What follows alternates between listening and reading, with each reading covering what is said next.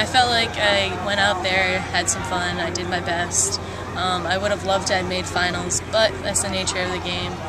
Um, I'm still second team All American, and I'm very proud of that. I'll compete at the local Hammerama in the summer, and then I would like to compete uh, in the open meets next year.